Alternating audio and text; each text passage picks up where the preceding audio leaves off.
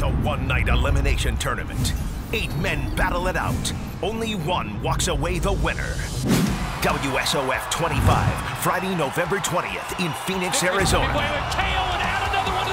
They put it all on the line. Patishnock is there to answer with punches. For the chance to fight for the lightweight title. He shuts it down and still your champion. Don't miss the action when World Series of Fighting returns to the Comerica Theater, Friday, November 20th.